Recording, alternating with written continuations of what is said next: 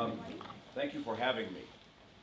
Uh, Let me uh, tell you a little bit about myself, and then I'd like to learn a little bit more about the audience. Um, I uh, uh, am an engineer by training.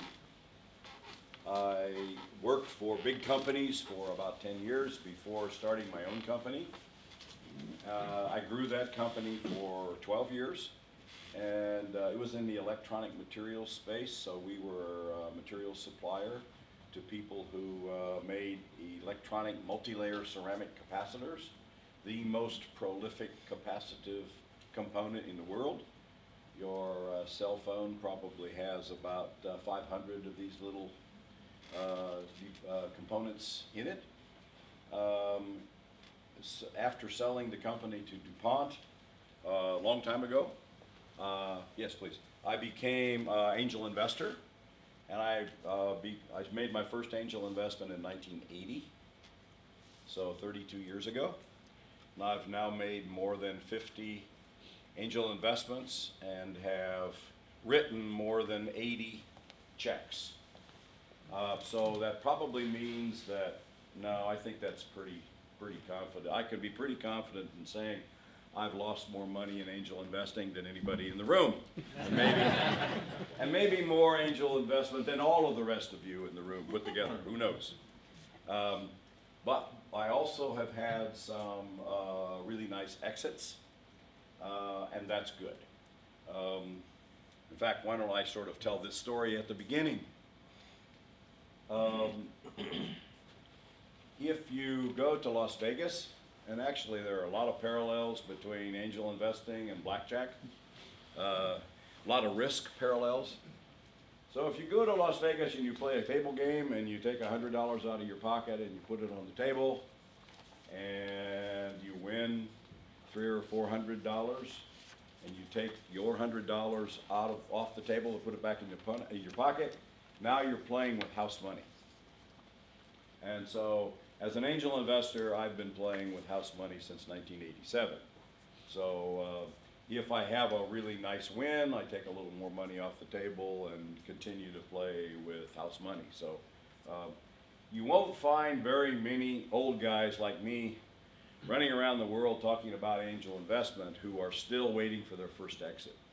Because if you've been waiting for 32 years for your first exit, you're probably playing with your grandchildren, or skiing, or, or uh, uh, swimming, or playing tennis, or playing golf, but you're probably not angel investing anymore. So exits are a really important component to angel investing. And actually, on Thursday morning, we're going to have a, a, a workshop on how to exit angel investments early. Early exits is a new strategy in, in angel investing. So I've been angel investing for 32 years. Uh, I've helped start, um, actually as a founding member, four angel organizations in the U.S. Um, I've probably advised 30 or 40 other angel groups, and I've taught uh, workshops like this more than 100 times in, uh, I think, 35 of the U.S. states, and I think nine countries now. So uh, um, it's, it's something that I probably enjoy doing, or I probably wouldn't be here. So excuse me for a minute while I change the screen. So uh, here's what we're going to cover today, but before we do that, I would like to survey the room. So there, let's say there are three main categories of people in the room. Uh, angel investors or people who are interested in becoming angel investors, entrepreneurs or uh, wannabe entrepreneurs who are thinking about raising angel capital, and some uh, service provider people, attorneys, uh, newspaper people, accountants, bankers, who sort of support, or government officials who so support the ecosystem of entrepreneurs and angel investors. So, how many angel investors are in the room? So that looks like at least half. How many entrepreneurs are in the room? uh, quite a number of entrepreneurs. And how many service providers? Okay, so um, I would say about uh, 60, 30, 10. 60% uh, angels, 30%, you can test me on that later. Uh, 30% uh, entrepreneurs and uh, 10% uh, service providers. So here's what we're going to uh, go over quickly today. And I will tell you that um, I'm not going to use a mic. And if you have trouble hearing me, uh, raise your hand. Um, man, I really, really appreciate and encourage you to ask questions. Uh, because uh, I know it's boring for you to have a talking head in front of the room. Uh, and it's also no fun for me uh, if all I do is uh, talk to you from the slides. So uh, please ask questions, and I actually have a lot of stopping points in this talk where I'm going to encourage you to ask questions. So I'm not going to read these slides. I'm going to uh, suggest that you've probably already read them, so I'll move on to the next one. Um, this word should be valley, not value. I, I don't know how that happened. The valley of death uh, is where uh, entrepreneurial ventures die. Now, it seems that most of the, uh, and this is a plot of cash or profits, uh, most of the companies that I invest in, they start down this curve and they just keep going like this. Um, that's called uh, minus 1x return. Uh, uh, getting less back than you invested. This is a very important chart um, to summarize the capital food chain for entrepreneurs. Um, we expect entrepreneurs to be totally committed to their ventures. So we expect them to uh, uh, put all of their resources and, and commit all of their time to ventures. So the first, back at the idea stage, the first investors are uh, the entrepreneurs themselves. In the next source is uh, government sources and uh, friends and family, and they invest in pre-seed ideas, uh, development of the prototype of the product, uh, demonstration of the product, uh, but it's only at the time that customers first see a product that is typical of when angels get involved. So right here, when the curve begins to turn, uh, when the company begins to have some revenues and contacts with customers, or at least some customer validation. That's when angel investors begin to invest. And there are seed venture capitalists and super angels that invest at the same time we do, uh, we angels. Traditional venture capital tends to invest when the company has revenues and to today's marketplace, uh, oftentimes when companies already have some earnings. So venture capitalists are funding growth, and angel investors are uh, funding uh, startup uh, stage companies. Uh, in the U.S., there's not a lot of competition between VC and angel. If there is uh, venture capital in a deal, it is subsequent, subsequent to uh, when angels fund deals. Um, so, who are these angel investors? Well, they're entrepreneurs and experienced business people who are willing to invest time and money in portfolio companies. And as you'll see in a later slide, uh, there are several studies that now say that the time that angel investors spend with portfolio companies is many times more important than the money they're investing in companies. So um, this is not a passive investment class, it's an active investment class where we angels are engaged with our companies. Um, we're investing our mad money. Remember when I was giving you the analogy with going to Vegas uh, earlier? Well, it's the same money that we take to play on the blackjack tables or the, or the craps tables. Uh, it's mad money. It's not money that we're looking forward to paying for our retirement with. Uh, it's usually three to ten percent of our net worth that we've committed to this asset class uh, because we want to stay involved or get involved in the angel community. Because it's so high risk, we generally have larger numbers of angel investments, and I'm going to talk about that a little bit later. If we have larger numbers of investments, and if we're active investors, it means that we're probably not going to be active in every venture.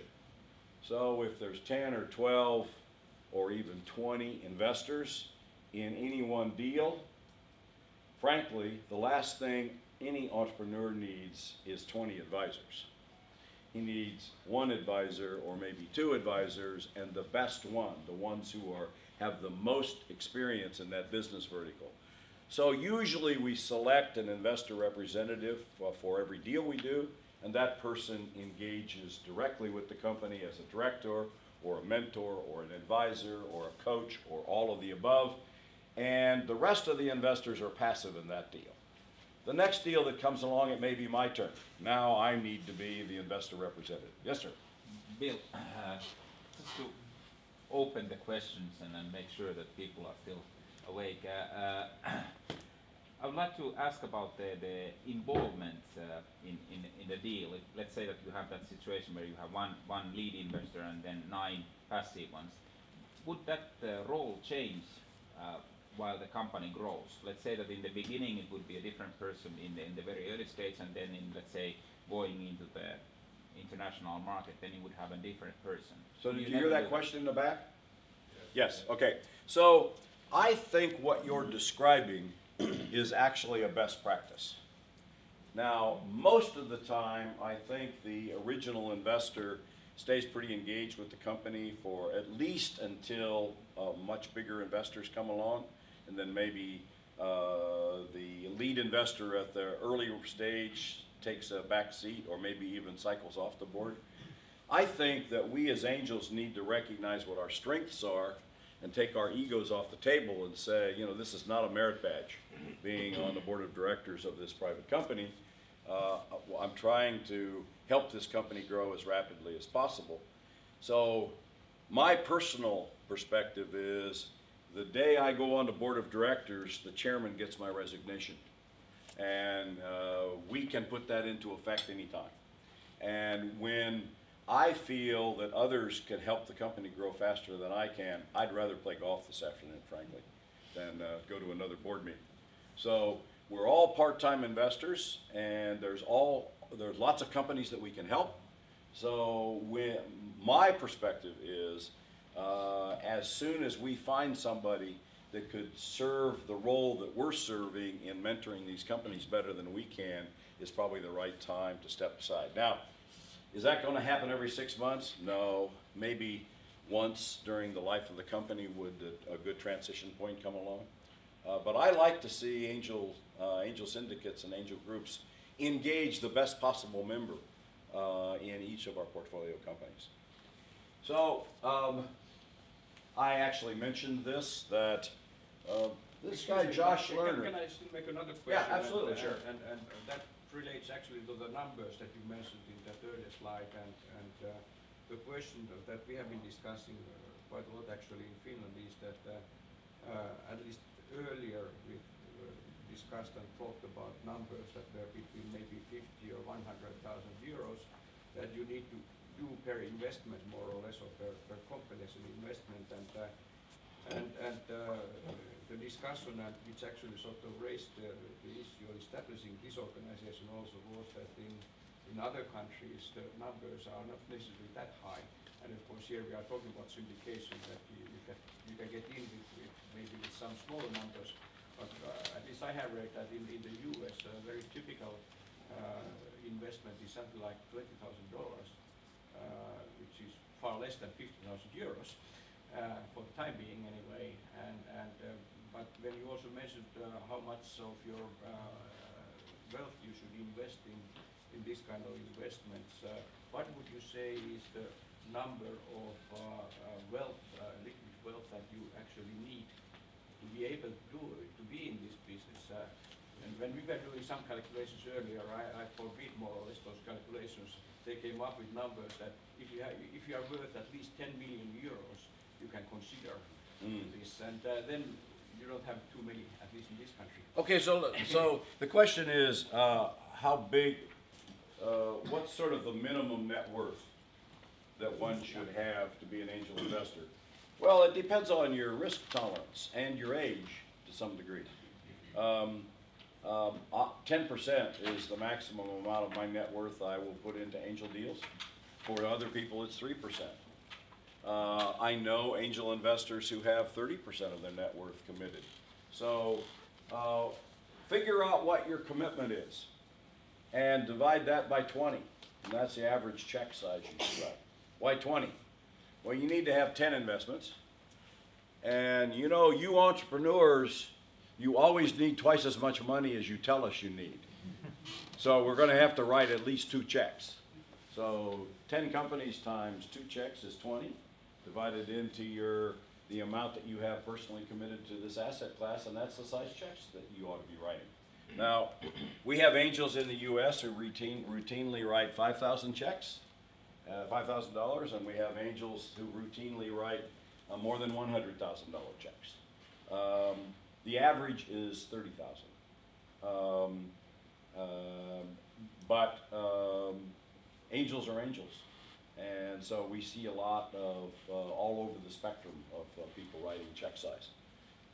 Did that, did that address your question? Uh, Maybe at least partly. Okay. Uh, So if you take maybe- ten maybe- companies yeah. and, and, uh, uh, you do the math of, uh, let's say, uh, twenty thousand dollars, and you have to make, uh, twenty investments, that's forty thousand dollars. If it's gonna be, uh, ten percent of your net worth, then you need to be four million dollar air, four four million dollar net worth. If that's, if that's how, how you choose the numbers, ten percent of your net worth. If you want it to be twenty percent of your net worth, it's different, it's a different calculation. uh, do do you see any, any differences in this, this respect, uh, when you, when you look at different fields of business? Uh, One can understand that it's, it's very high risk in, in ICT, in, in, in that area more or less. When you take more traditional business areas, uh, maybe the risk is not that high. I disagree. Okay, I don't think there's any, uh, relationship between, uh, uh, risk and business sector. Restaurants, now there's a traditional business sector, failure rate is seventy percent, higher than software companies. So, uh, it's, uh, you know, there is a, uh, I know many friends who say, well, I'm going to invest in this low-risk startup company over here because they're in the furniture business or the food business or the rest, uh, restaurant business, and I'm not going to invest in this medical device company or this software company here because those are high risk. And we can't find any uh, relationship for startup companies right at the beginning between risk and business vertical. Uh, they're all risky. Just sort of figure on a fifty percent risk, uh, failure rate. So, uh, this guy, Josh Lerner, is maybe the most famous, uh, academician in the US who has looked at venture capital environment. He just finished a study last, or two years ago, on angel investing, and he is, he came, actually, it made me feel very good when he came out and said, to the best of his knowledge, the value of the time that angels put with their portfolio companies is at least as important as their money. Uh, that, that was really uh good for us. Now, let's look at motivation for angel investors. If you're a venture capitalist, you're investing other people's money. If your motivation for investing other people's money is anything other than return on investment, you're in the wrong business. But angel investors are investing their own money. And you know, on this stuff, the time we put in our portfolio companies, we get no return on investment. Our ROI is all on the money that we put into portfolio companies. So we're doing the time that we put into portfolio companies as, as an altruistic return. It could be that an entrepreneur mentored us when we were younger and we want to give back. We could have uh, economic development motivation that says, I'd like to see my community diversify. Uh, it could be that we just don't like golf well enough to play every day, so we need something else to do. Or it could be that our spouse said, I married you for better or worse, but not for lunch. So find something to do and don't be hanging around the house all the time. Uh, and all of those are reasonable motivations to be angel investors. Now, I can't speak for Finland, but I have been studying the, this area of job creation um, as an amateur for some time. And I was very much struck by the following data published by the Kauffman Foundation in November of 2009 for the Obama Job Summit. Uh, Kauffman Foundation is the largest foundation in the world with a focus on accelerating entrepreneurship. And here's the chart. The gray bars are recessions. The blue bars are jobs created by companies less than three years, five years old. And the red bars are jobs created by companies that are older than five years old. You'll see that there's a lot of jobs created by young companies and not so many jobs created by old companies. The, one of the authors said that in the last 30 years, entrepreneurs, that is, companies that are less than five years old, have created 40 million jobs in the US, and companies that are over five years old created less than zero. Is this net or is it just startup? Net, So net job creation. net job creation. So for every job that Google creates, since they're more than five years old, Chrysler lays off somebody, or somebody else lays off somebody. So, uh, company, big companies that have been around for more than five years, uh, over the last thirty years net, have, uh, have had no impact on job creation in the U.S. It's all been done by, by, uh, younger companies. Now, do I have any evidence that angels created all those jobs? I sure do not. I wish I did. But I can tell you that those companies less than five years old are right in the sweet spot of the 20,000 or so companies that we in the U.S. fund as angel investors every year. So, any questions about that? Yes, sir. Maybe not question, but uh, uh, I think uh, much the situation in Finland as well. Uh, I can't recall the exact numbers, but uh, especially on the ICT field where we have been so much laid on one big company, Nokia. Now the meaning of uh, scalable startups is very crucial to the national economy of Finland. Somebody may know that better because FiBAN made a very good study on that and has uh, influenced our government to support uh, these growth companies. Good. Well, I mean, I think um, much of the data we have everywhere is a bit anecdotal, uh, but we're beginning to gather more robust data, and I was really tickled, really excited about seeing that data come out from Kauf- Kauffman Foundation two years ago. Any other comments or questions? Yes, sir. Maybe- Maybe one, one uh, comment or question also, if, if, also in Finland, we talk a lot, a lot about uh, the startup companies and, and really, uh, in order to be able to get some, some funding and, and, uh, and, and grants, you need to be actually less than six years old uh, as a company. But then there are many companies in Finland that are maybe much older, they are still small, but they have very good potential. They need a new, new team, a new entrepreneur, and they can be sort of real startup companies in that sense. Is there any data from the US that, uh, that uh, actually in these older companies there are uh, real, real uh, pearls? So I would say that uh, my experience is that uh, probably a third of the companies that I've invested in have been older companies um, that maybe a IT consulting company that uh, finally, after doing the same thing for several companies, came out with a packaged piece of software that they want to commercialize uh, broadly, uh, and they and they uh, want to raise money to do that. Um, so I've I have funded. I think most angels have funded companies that have a small ongoing component of service business that they want to convert into a product business. I will add this, the transition from um, service uh, entrepreneurship to product, uh, a product company is not an easy transition. Um, entrepreneurs who have been self-funded um, are very creative at um, raising money, at selling things, at uh, picking the lowest hanging fruit. But when we fund them, we want them to focus on commercializing this product. And sometimes that's actually a hard transition because they've been chasing every opportunity on the rainbow.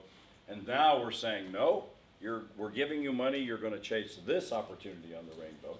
So it's a hard transition to make for some.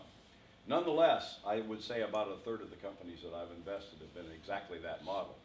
I think what you have to be careful of is that the team is ready to focus all their energy on commercializing one product and not chasing every opportunity that comes along in the future. Yes, sir. Uh, This is, uh, I find this very important uh, slide. It's one of the, the best slides uh, I have seen in the international forum for, for, uh, for the several, uh, several shows that I have seen. Uh, But uh, basically that also says that there needs to be some, some kind of uh, uh, creative destru- uh, destruction uh, of, of, of companies, that, that they, they are uh, constantly new companies. They are never the same companies that are five year old or less. They, they are constantly new. So, so uh, how do you? How, But how don't do you think that's what entrepreneurship is? Exactly, Creative destruction? ex- exactly, but it- but it strikes me quite. Uh, if you look at the numbers and the job creation of, of uh, the companies that are less than five years old, it's almost almost uh, like a flat. uh, Yeah, it- that's it- surprising to me it- too. It's a constant. Uh, it, it seems like like the innovation is is uh, is like a, nominal value that there is. Yes, a, and I can't explain why it, it, uh, th- three million jobs per year, uh, from this, this slide. Uh, I will say that, notice that the data stops at two thousand and five, and one of the ba- basic reasons for that is that it takes quite a while to gather all of this data and sort it out, uh, and make sure you're actually looking at real trends. Uh, but the data was done in '09. And from what I have heard, there was a significant dip in job creation in the U.S., maybe a bigger dip than we saw anyplace else um, in uh, 09 and 10, but it's back up again. So entrepreneurial startups and job creation are uh, back and very active. I think you know that we're having troubles with unemployment, as are many, um, uh, many countries. Uh, and right now, the, the private sector is doing fine. The public sector is, uh, is offsetting essentially what the private sector is doing in job creation. But I think uh, creative destruction is what entrepreneurship is all about. Uh, and I think we're back to seeing uh, quite a bit of job creation in the U.S. from, from new ventures. So let's talk about uh, portfolio strategy. So the, the classic assumptions in angel investing until November of 2007 were, well, okay, this is a pretty high risk field. Uh, we better invest in uh, lots of companies. Uh, we're looking for home runs. We're looking for big exits, not a bunch of little exits. We're looking for a few big exits. And based on some of the VC data in very early stage, we ought to be kind of thinking about maybe a pretty high uh, internal rate of return, interest rate uh, rate of return. But we frankly didn't have any data. So we just tried to have a, um, rough idea as to what a strategy would, could be. And then in a professor from the, uh, a small university in Oregon uh, got permission to study angels in groups in the US and published that data in November of 07 and then uh, about 18 months later published a similar study in the UK and this is the first data we ever had on returns for angels investing in groups. And you'll notice that in the top three lines, it sort of describes the two studies. There were 539 angels in the US group, 158 in the UK group, and the analysis was of the exits only. So the third line, 1,137 exits in the US, 406 exits in the UK. He did not try to assign residual value to the ongoing ventures as you would expect, uh, as you see in venture capital calculations. He simply looked at uh, the returns from exits. Now, uh, feast your eyes on the bottom line. More than 50 percent of the companies in both studies did not return capital. So if you invested uh, 20,000 euros in a company, you got back something less than 20,000 euros at exit. In fact, 35 of the 50% gave back zero. 15% of the 35% gave back some capital. So most of these 50% uh, losses were complete failures, zero return. But look at the ROI line. Uh, that's our definition, the way we use the expression return on investment or ROI as angels is simply cash on cash. Forget about the number of years. If you invest a dollar, do you get three dollars back? If so, that's a 3x investment. Uh, so that was about uh, two and a half times your money back, depending on where you were. Uh, the IRR calculation was about 25% uh, per year, uh, depending upon the, the region. Uh, probably the most significant line on here is this, and that is that less than 10% of the investments gave three quarters or more of the return on investment. Now, if you think carefully about return on investment, um, part of it, if you're getting a 3x return on investment, the first third is getting your money back. That's 1x. So uh, if 67% uh, of the companies 60% uh, of the yield came from 10% of the companies, that would be all the upside. So actually, 75 and 80% means that less than 10% gave more than all of the upside, gave some of the return of capital as well. So um, 9 out of 10 of the companies uh, didn't quite give capital back, and I'm going to show you a little more about that in a minute too.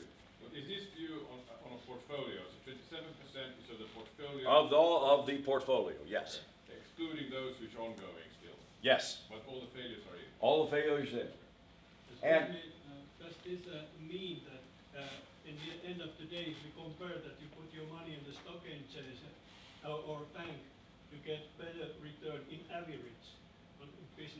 No, you'll get about twenty percent, better than twenty percent with angels. So you'll be better with angels than uh, if you've got the stomach for it. If you've got the stomach for that line right there. And my mother does it. Well, my mother's been deceased for a few years, so, um, but uh, my mother wouldn't have when she was alive. So uh, some people don't have the tolerance, the risk tolerance to lose half the money and be patient to wait for that 20% return. The one thing I want to point out to you on this chart that's totally misleading is this number about years to exit, 3.5 and four years to exit.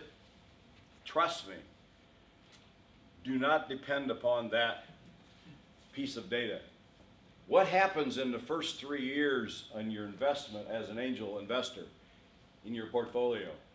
Only thing that happens is a few companies go out of business.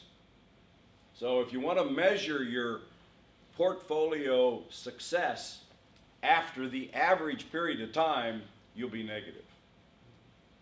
It's only after you've had all the exits in your portfolio that you'll be positive. All the positive stuff happens in the second half of, uh, of the life of your portfolio companies. So any questions on that chart?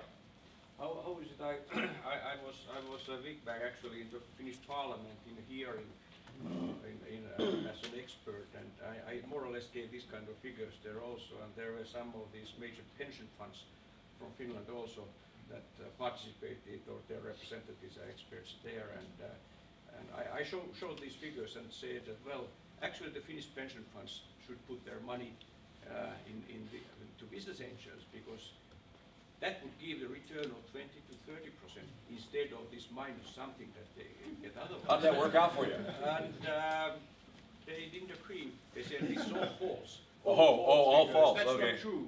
I see. And, and uh, because they had lost of money in. In venture capital. In, in venture capital Ah. investments. I've got some great data on venture capital, and they have lost money in the last ten years. Well, that's what, the- that's what they also said, but uh, have you been able to convert uh, pension funds uh, in, in Well- the US to, to invest uh, in startups? So, so remember that this is all our own money, Yeah, and we're not investing other people's money. yeah. So, but there are some, uh, um, government and uh, pension monies that are, have been put into, um, what we call sidecar investments or co-investments, uh, co-investment funds or matching funds, where the angels do the heavy lifting. And then uh, either a government or another fund will invest and will match that fund, maybe a fifty percent match or a thirty percent match or a hundred percent match up to a certain cap. So we do see some of that. Uh, not so much more, it's much more likely to come from a government sector than it is from a pension plan or endowment. But we'll be, we'll see. I think, um, people are only beginning to understand this asset class. I mean, if you have no data until November of two thousand and seven, the pension plans are not gonna pay any attention to it. So what we're, what's gonna happen is in a couple more years, this guy's gonna repeat the study, I'm sure. And then, uh, then we'll see, uh, you get two or three data points, then maybe there'll be enough, uh, information to convince, uh, bigger investors to do sidecar, side, sidecar, side investing, co-investing funds. Yes, sir? But there uh, isn't uh, included uh, the huge time you investment into this, your own time, which you could maybe do consulting work and make a lot of money. So if people envy, envy this, then they should realize that you put your money uh, in, uh, also your time, not just money.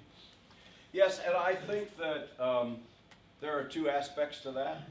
The first is um, that sometimes the co-investment funds, there's an administrative charge that goes back to help run the in Angel Syndicate uh, to reduce the dues of the members. So that's one way you could compensate for that difference. We're also working on possible ways to uh, reward the angels who do the heavy lifting with warrant coverage or uh, something like that. In the US, it's not legal to have success fees, but in other jurisdictions it is. So you can think through how you can reward the people who are doing the heavy lifting, if, especially if you've got a, uh, a big sidecar fund that's investing alongside your group. Yeah, that's a possibility. Yeah.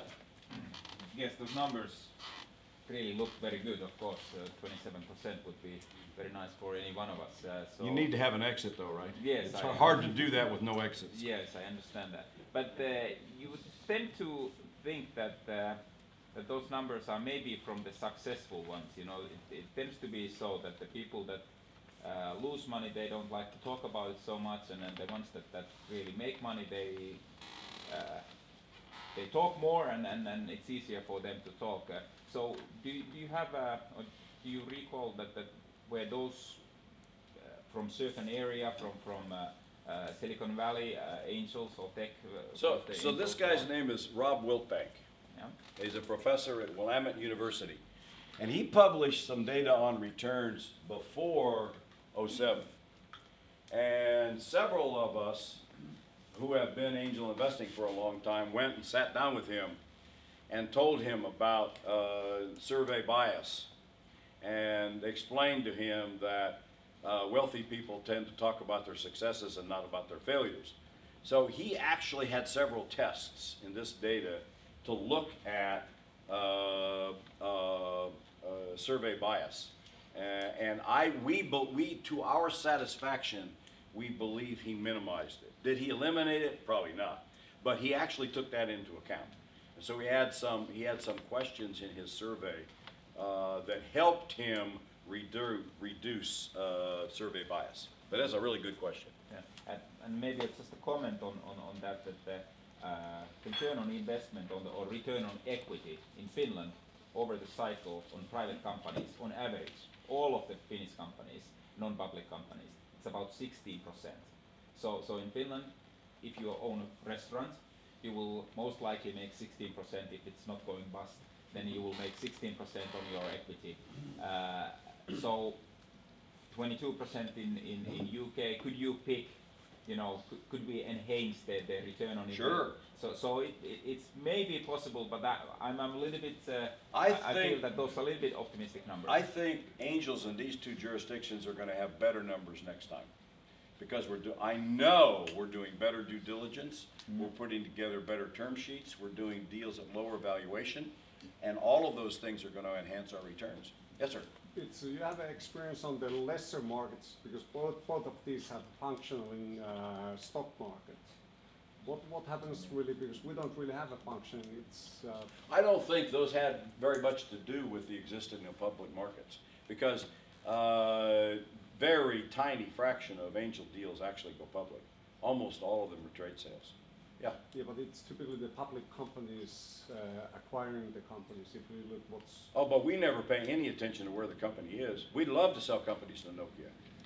You know, so it's, uh, uh, I, when you're talking about a company generating revenues, going offshore can be difficult.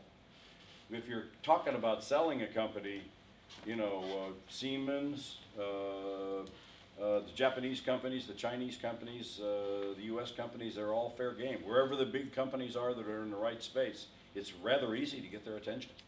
So I don't think that's a critical factor uh, for, for the M and A transaction. Any other questions? Okay, moving on. This is the data on returns from the same, from the same US Wiltbank study. So, um, notice that the failures happened in the first three years and the successes took six years or even longer. I have two rather nice positive exits in my portfolio after 15 years. Be patient, angel investors. Uh, I also have one after 18 months. That was a really good one. Um, but uh, it could take a while before you get a, a great a great exit. But again, pointing out this average holding period of three and a half years is not very meaningful because this is all that happens in the first uh, uh, three and a half years in most cases. Um, again, uh, this is a, a little plot that I made up. Um, based on my experience, we are going to have some exits uh, at uh, times that are lower than the Wiltbank data. We're probably going to have a lot of exits that are going to take uh, substantially longer than the Wiltbank data as well. Um, so what we can conclude uh, from the Wiltbank data is that number one, since we get so few great exits, we need to invest in companies, then each company has to have the potential to be a big exit, ten X, twenty X, thirty X. We can't afford to invest, if one in ten is gonna give us all of our upside, and we invest in some potential two X's and three X's, and ten X's and twenty X's and thirty X's, the winner is always gonna be the one or two X, right? So we're gonna be underwater for our whole portfolio. So we have to make sure that all of the companies we invest in have the potential to scale. We gotta invest in a lot of companies, and we better be pretty patient, uh, investors. So, um, our suggestion is that angels consider 10 to 25 lifetime investments as the right kind of number. Um, and uh, if you invest in more than that number of deals, your chance of success is pretty reasonable. Um, let me show you. This seems to come up a lot, doesn't it? Gamming, gambling, and gaming in my talk. So um, maybe it's because I live in Las Vegas. Um, so let's talk a little bit about a gaming analogy to angel investment. So let's say you play a game where you bet a dollar and you pick a number between 0 and 11. So 1 through 10. If you get the number, if you get the number right, you get $25. But you're, and you're betting $1. So there is an anticipated return on this kind of gaming. It's called that you'll get two and a half times your money back. You bet on it, bet on every number. You bet 10 bucks and you get 25 bucks back. That's a pretty good deal. Um, so it's a very skewed return, but your anticipated or your expected value for this return on investment is 2.5 times your money. So if you play one time, you're almost 100% chance you're going to lose all your money, but you could make 25 times your money. If you play 5,000 times, you're pretty much assured of a 2.5x. If you play three times, well, you could make 8x, that would be one win out of three. You could make 17x, that would be two wins out of three. You could make 25x, that would be three wins out of three. But most likely you're going to make zero if you bet three times in this, in this game. So think of angel investing and portfolio strategy a little bit like this.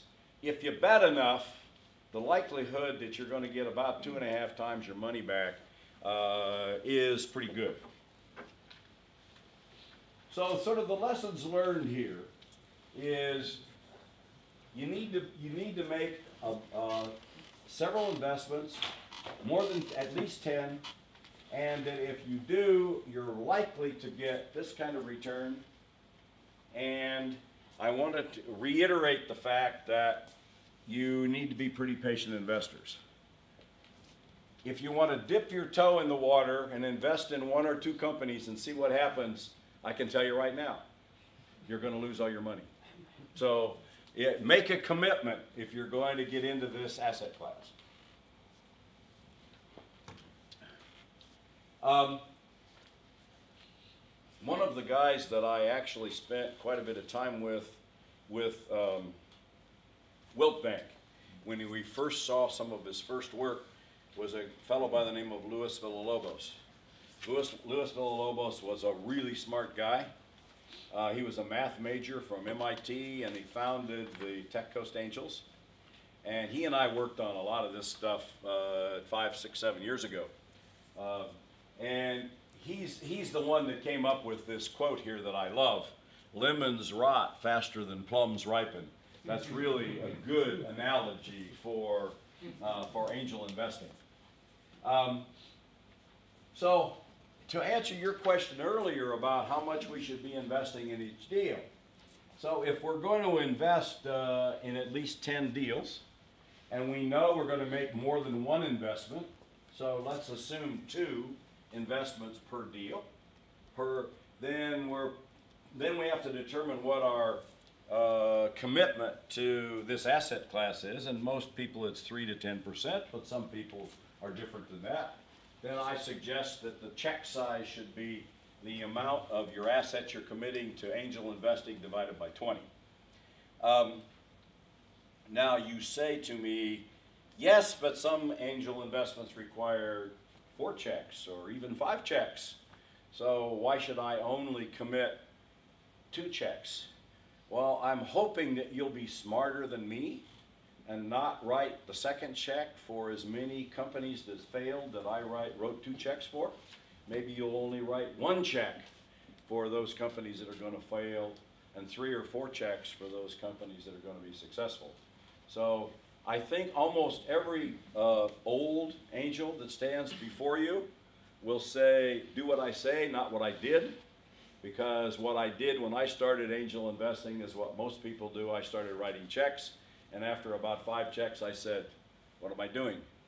What is this asset class? What kind of commitment am I gonna make for my assets? Is it, what fraction of my assets are I gonna commit? How big a check should I be writing? I didn't ask that question until I'd written about five checks, so, uh, uh, we're trying to give you some input to help you make some of these decisions earlier than we did. Um, so, oh, this is a, this is a really good question. It comes up all the time, and that is, should I write, uh, uh, uh, assuming that the company needs more money, and assuming that the company can find that money someplace besides my pocket, should I choose to invest in that company anyway to avoid dilution? So maintain my percentage of ownership by making follow-on investments. Um, that's a personal choice. Uh, and some investors do, and some investors don't. What's the strategy of the investors that don't? It's a diversification strategy. Do I want to invest 20,000 more euros in the company I invested in a year ago or 20,000 euros in another new company? Assuming that I'm sort of at my cap of how much I want to invest in this asset class. My personal choice is diversification.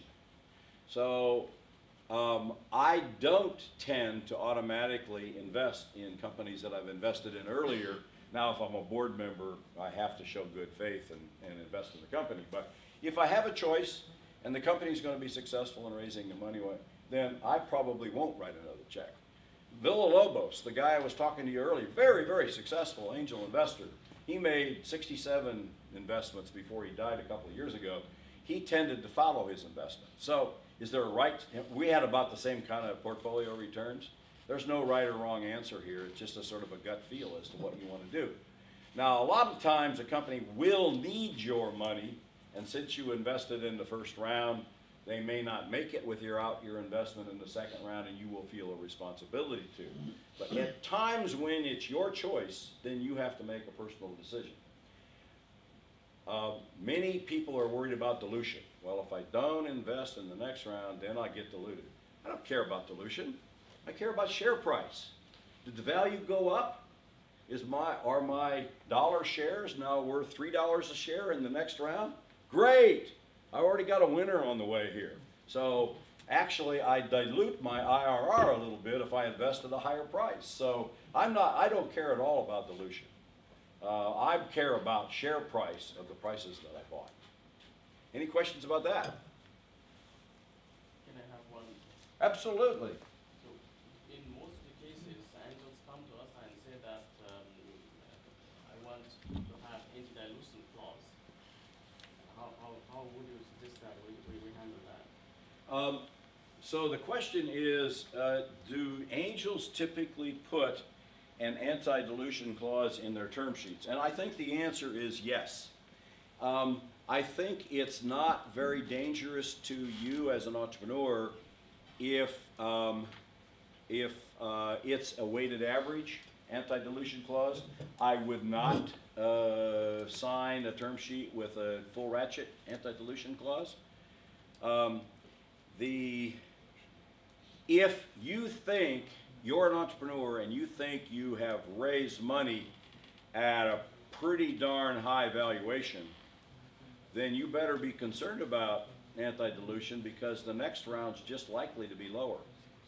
And so if you're doing the deal, it's priced right, uh, and you're an entrepreneur, I wouldn't be very nervous about, uh, about a weighted average, uh, anti-dilution clause, but I wouldn't sign a full ratchet. Any other questions? This chart basically is to remind me to tell you that all I've talked about so far is scalability and diversification.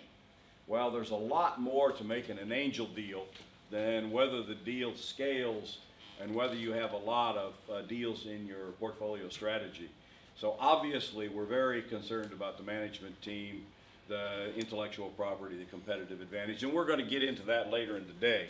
Uh, but I just wanted, you- wanted you to understand that scale and diversification are key to our portfolio strategy, but they're not the single key factors in making any individual decision. So, any questions?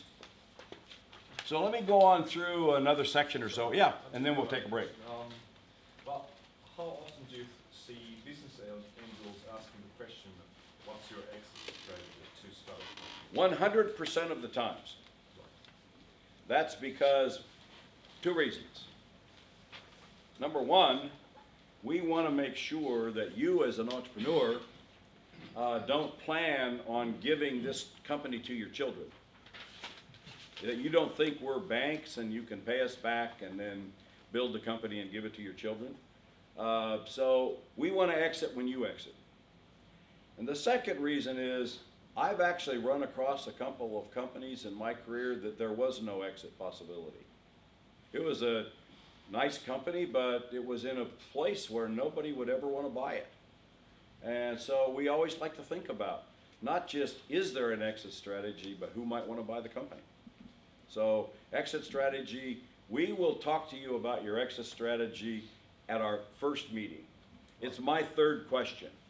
Surprisingly enough, that's not the case in Finland. Oh, okay, well, uh, it will, it will be. Be patient, it will be. Um, One more question, Bill. yep, absolutely. Um, When when you say that uh, you should have at least ten investments, so over what time is that?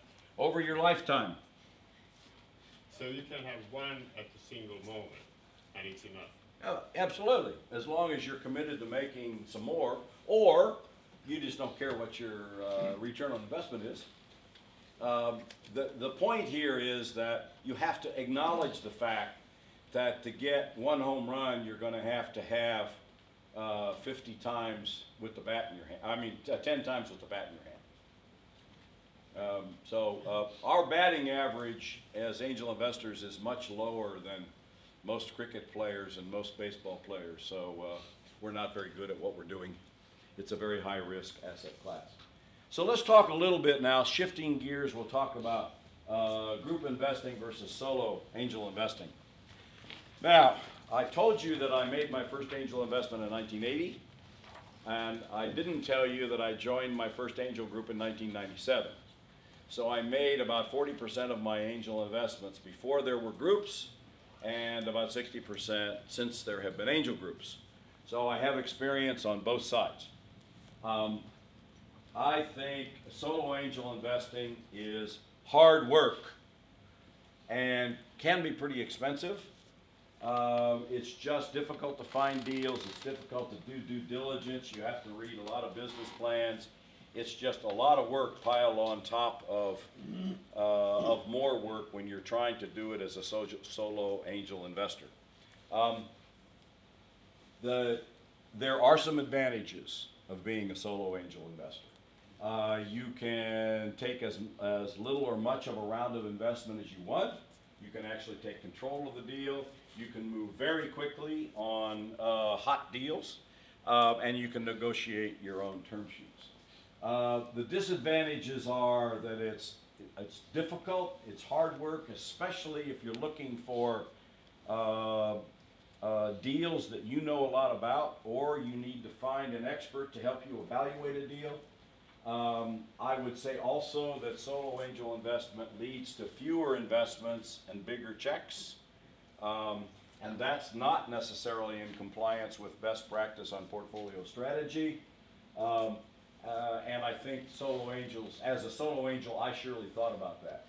Um, I made a decision eight years ago to only invest through the two syndicates that I'm a member of.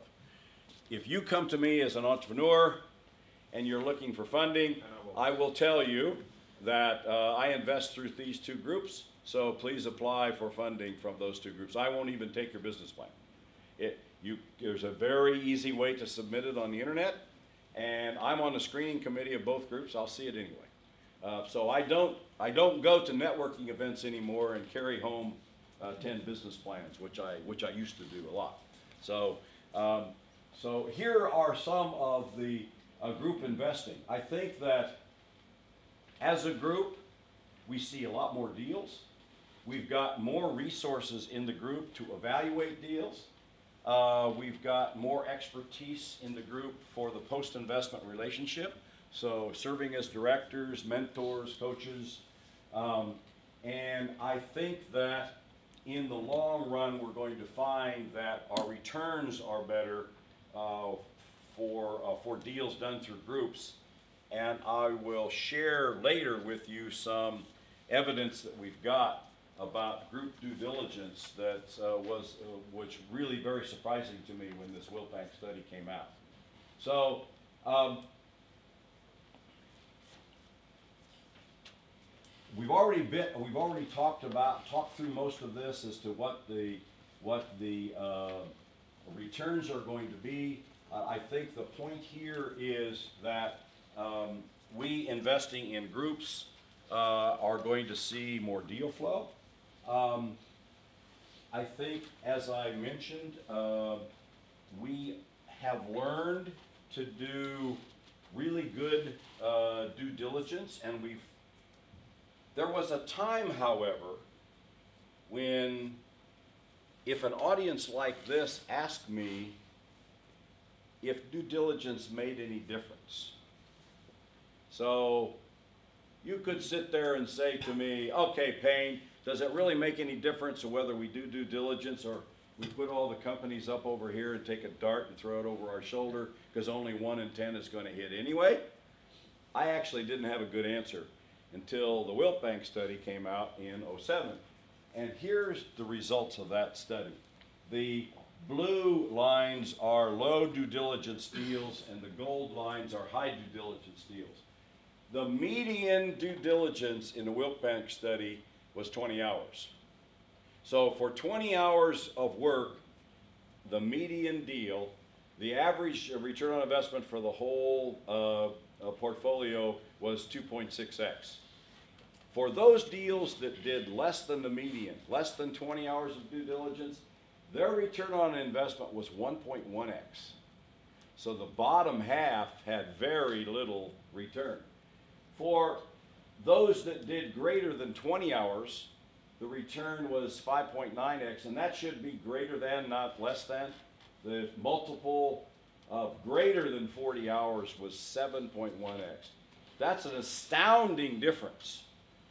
The companies that did less than 20 hours, which was half, uh, virtually half of the companies, got a 1.1x.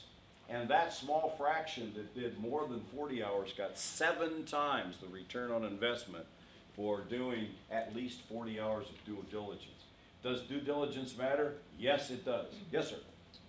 Uh, on this perspective, I would like to bring the, the notion about crowdfunding.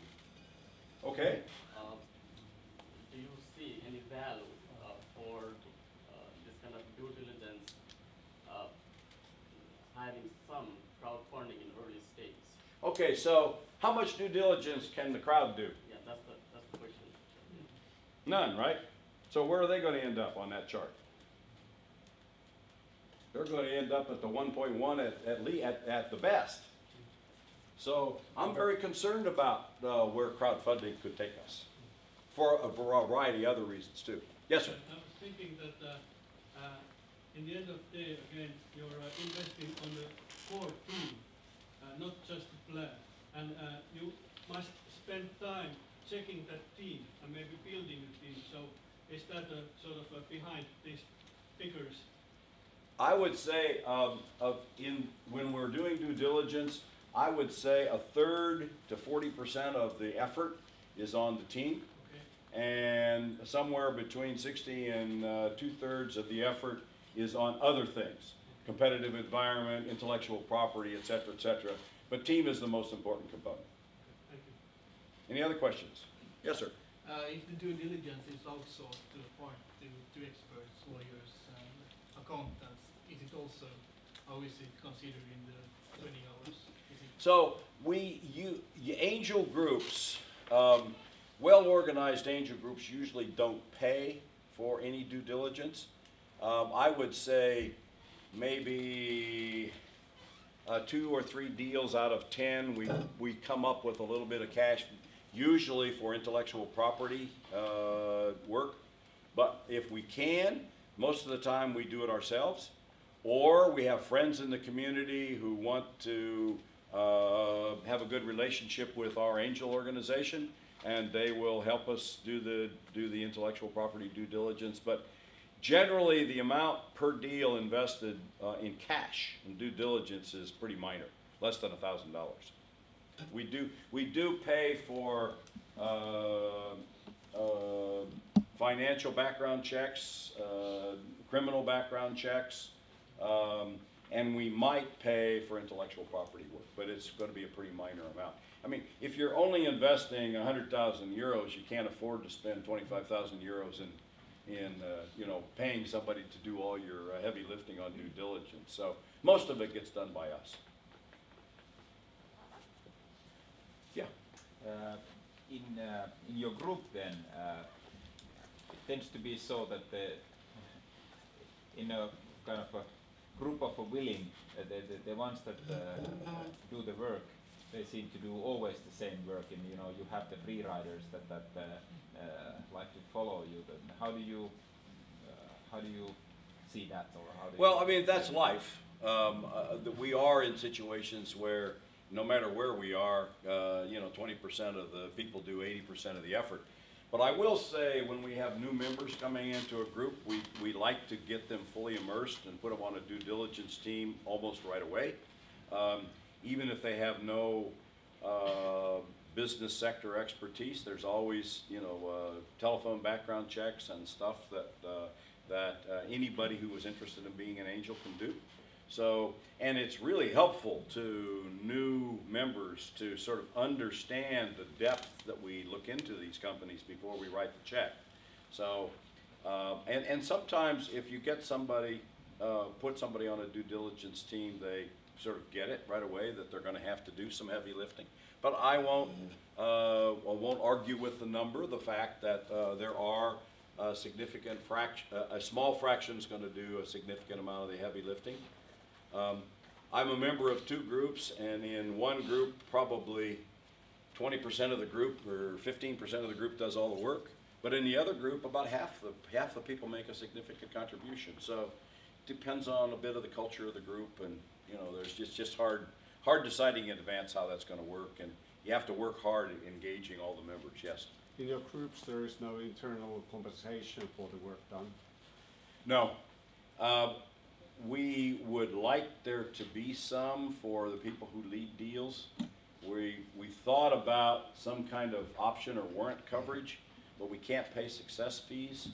So we have to be very careful about that, or, or we will be uh, in violation of some of our federal laws from the Securities and Exchange Commission uh, in the US. So most groups don't, but some groups are thinking about how we can do that. So let's look at a couple of other factors that affect returns. So, um, the, the experience in the industry of the target company that, uh, the angel investors have has a significant positive contribution on their returns. And the, mostly, the best way to look at this is that high participation is the gold bars and the low participation is the blue ones. These three categories, the gold bars are significantly higher. And I, in this case, I think the, uh, just, the- we're talking about uh, investors with a lot of experience uh, in the business vertical of the company. Um, We have another chart that, uh, that comes right after this that basically says uh, our level of engagement with portfolio companies also helps returns.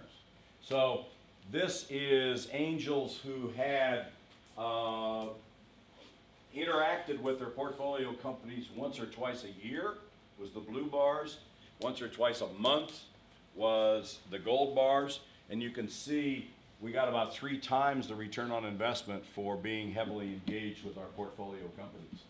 Um, so my experience is angel investing through angel groups gives me more choice of deals to invest in. uh, gives me a lot of support from other members with a lot of business vertical experience that both helps in due diligence and helps in the post-investment relationship, uh, directorships, et cetera. We're beginning to develop um, standardized due diligence checklist and standardized term sheets. In fact, some of our groups in the US are now publishing our standardized term sheets on the website, so entrepreneurs can know in advance exactly what kind of terms that we're likely to be looking for. Now, the last bullet point on here.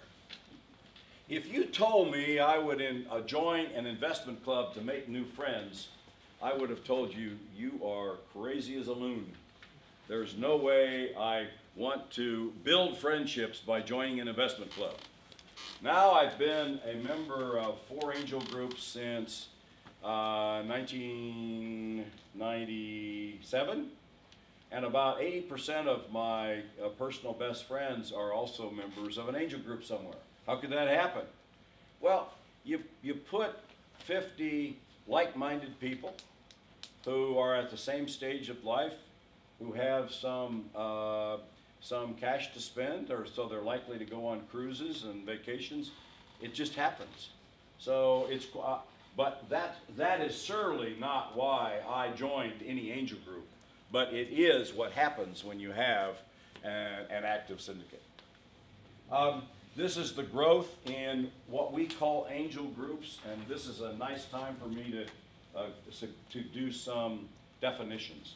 So in the U.S., angel groups are consist of what you call syndicates, and which we call networks, and funds. So angel fund is not like a venture capital fund.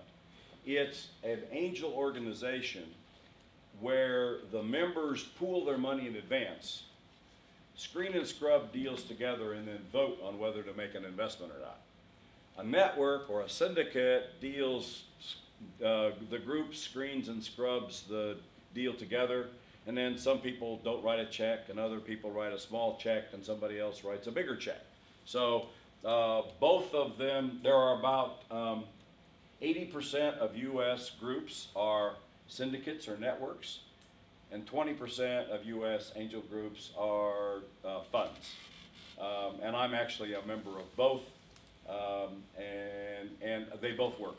They, they both, both work uh, quite, quite well. Um, from the Wiltbank study, here's the typical. Can I Uh, yep, absolutely. Please. What is the form of your angel fund? Is it a company or is it more rules? Uh, it- Repeat the question.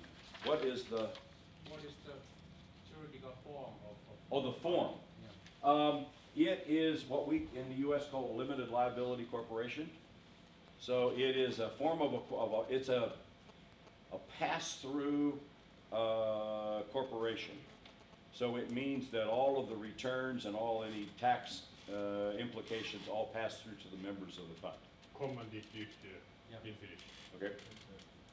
Um, and uh, uh, it's a little harder to start an angel fund because you have to get the commitment from the members to invest.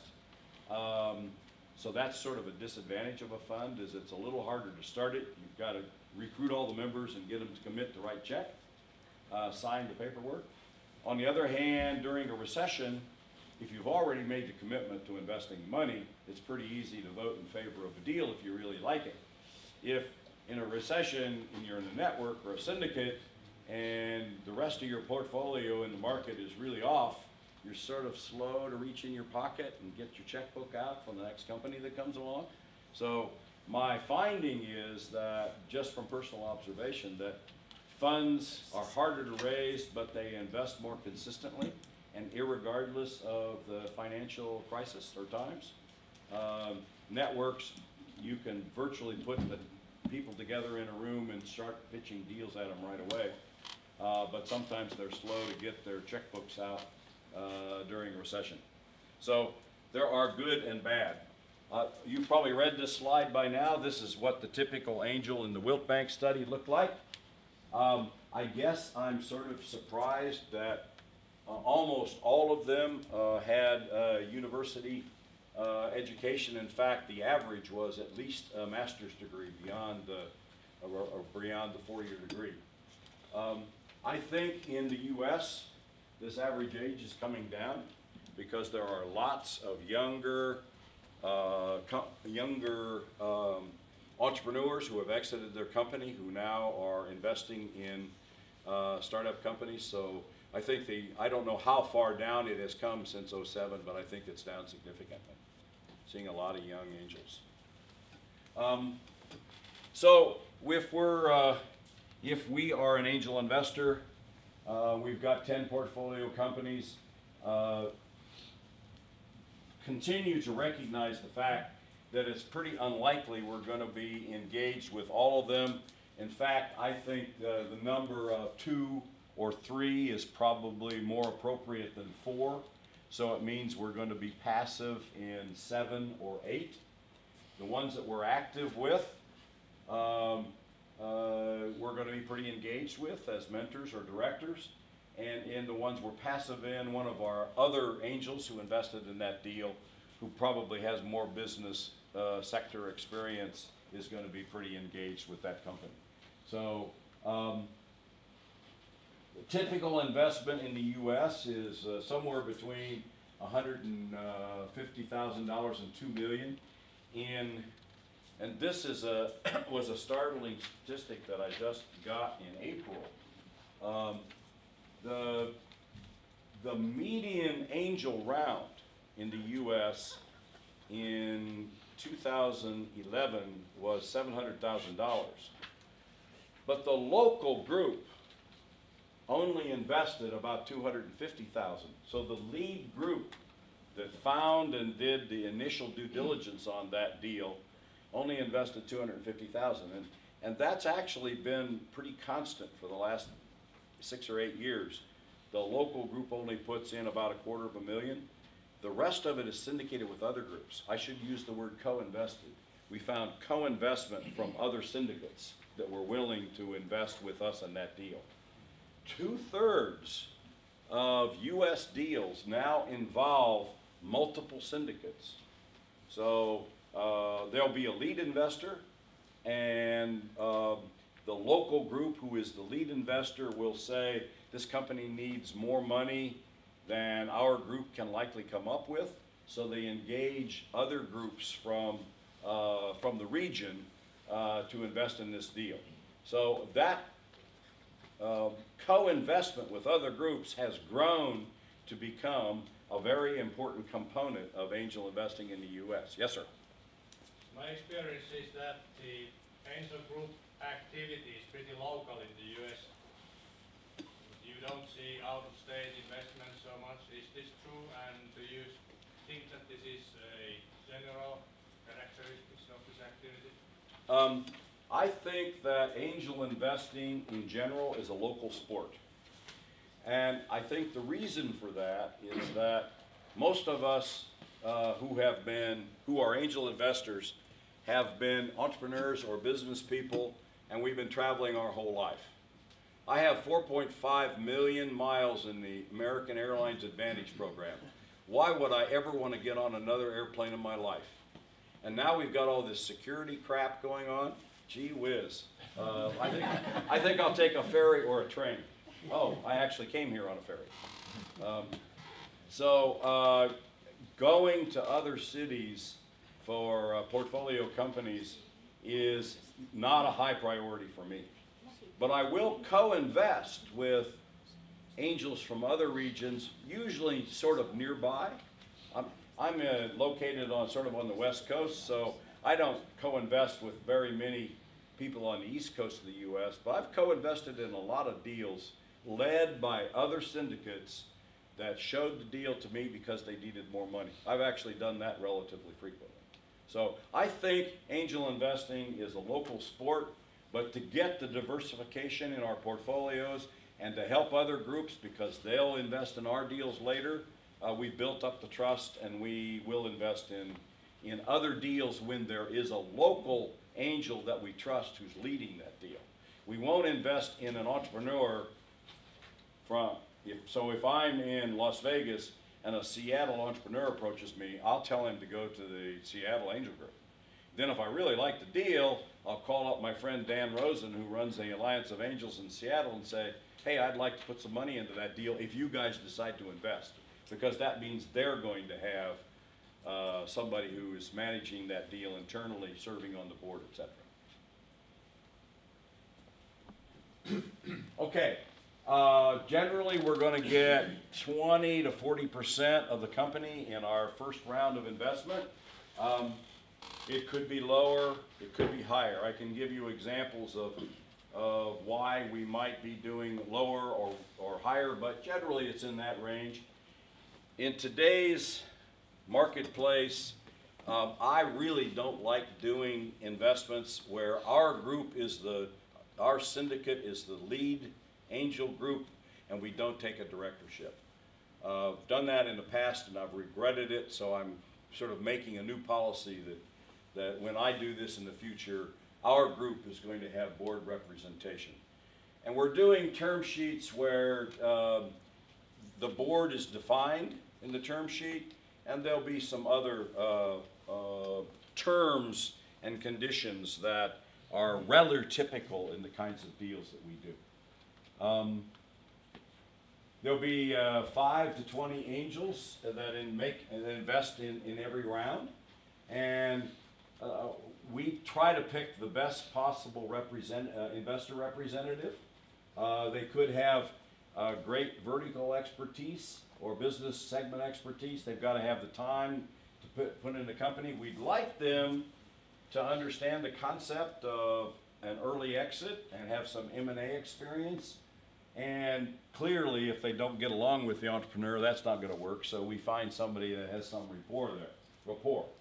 Um, most of the rest of us are involved on an as-needed basis, can be involved on an as, as-needed basis. Um, uh, and that happens to me very frequently that there'll be some issue come up and I get a phone call from a portfolio company or the, the director representative for our group in a portfolio company who needs an introduction or uh, has some kind of, some kind of question related to corporate governance or something. Um, think I have, well, these are some of the, some of the engagements we have. Uh, mentor, advisor, and director I've mentioned. At times, we will step in as an employee on an emergency basis to replace one of the key uh, individuals in case of some kind of an emergency, but it's very, very seldom more than a temporary uh, relationship. We have a major responsibility in helping portfolio companies raise more money, be it another angel round or venture capital. And we, a, a better practice has become for us to help tee the company up for an exit. Not just any exit, but an exit that happens earlier rather than later. And I have two companies in my portfolio out of 12 companies that are sort of alive uh, that we're currently doing an exit on, one of which has zero revenues. So we're doing a pre-revenue exit uh, for something in excess of $20 million. And the second one that has very minor revenues, less than, less than a million dollars a year, that we're hoping for the same kind of, of exit on. So we're modifying our uh, personal strategies as angels on when we can exit these companies. We used to sit around and wait for an offer to come in. We're taking a much more uh, proactive approach to exits these days. And that's in fact what I'm uh, going to be talking about uh, on the uh, workshop we have planned for Thursday morning. Yes, sir. What is your preferred choice of exit? There are multiple approaches to look into that. So now you are coming uh, on a strategic exits rather than, than uh, valuation exits. So Well, I never want to do a valuation exit. That implies a financial buyer. My experience with financial buyers is they're bottom feeders. Uh, so they want to buy the company for the lowest price possible price. Um, uh, I would always want to do a strategic exit, whether it's early or late, and I want to do it through an auction. I want to create uh, three or four, uh, well, uh, let's say three uh, buyers who, who just can't live without buying my company. Just can't live, can't see another morning without owning my, my company. So uh, that creates a really good price. And uh, that's, that's uh, uh, a really new, emerging, uh, important angel strategy because the venture capital market has disappeared as an investor, and when they do invest, it takes forever to exit. The time to exit for VC deals is way up over where it was 10 years ago. So we have to modify our strategy. Again, Thursday morning, we'll be talking about that. Any other questions? Yes, sir. What do you think about indirect involvement of business angels in target companies? In Finland, uh, we have seen uh, this development, especially in born global type of companies, where they have established international management advisory boards and international scientific advisory councils. And uh, all of these members are business angels. So, um, I, I think my answer to your question is that I actually like advisory boards um, as long as they have a very specific purpose. And, um, and as long as they don't confuse the fact that they are not, do not have fiduciary responsibility, they're not the directors of the corporation, so uh, they're driving towards some purpose, like exports or uh, uh, technology in the case of a scientific advisory board. Some scientific advisory boards, especially in big pharma companies, are names on the letterhead, and that may be a good idea too, you know, but they never meet. So you've given somebody one percent of the equity so you can put their name on your letterhead because they're famous in this life science industry. Um, I don't invest so much in life science deals, so that doesn't tend to come up with me. Uh, I really like for entrepreneurs who have not had investment to have advisory boards. Don't worry so much about fiduciary boards, you know, make it minimal. Your, your uh, wife and your dog and you be the, uh, be the board of directors. But uh, expect the fact that when investors come along, we're going to build a, a real board of directors. And if the advisory board is going to continue, it has to have a very specific role, not just general advisory. These born globals are facing largest possible managerial challenge because coming from a small and open economy like Finland, they should global, not internationalize, but globalize their activities within the first coming three to five years. Yes, I agree. And I, I've spent a lot of, I spent six months in New Zealand in the last two years. And you think you have problems exporting. Go to New Zealand. They're 10,000 kilometers from land, other land. Other land with real markets, anyway.